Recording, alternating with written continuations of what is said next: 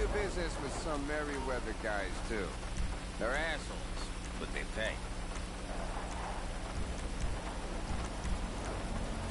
Deal. You were never here. I was.